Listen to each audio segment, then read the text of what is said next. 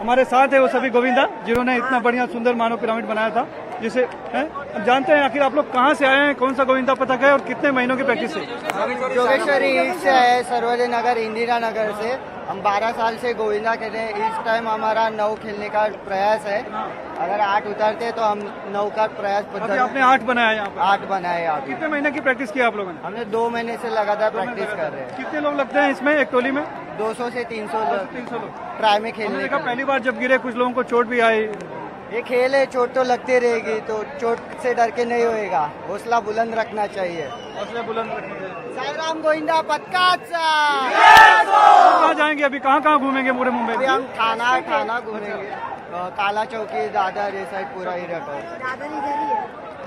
और क्या जोश किस तरह का? हाउ इज़ जोश? गणपति बाप्पा। गोविंदा